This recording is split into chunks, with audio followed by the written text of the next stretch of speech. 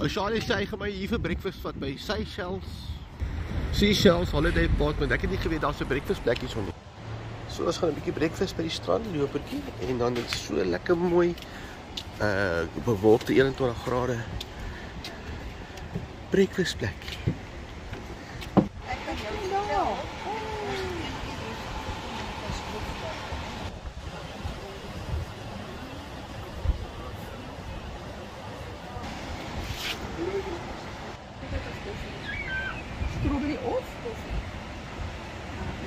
Excuse, jy het nou vinnig gesê jy wil vanilla. Ja? Okay, so vanilla. So ek loop so stadig want my breakfast was te veel.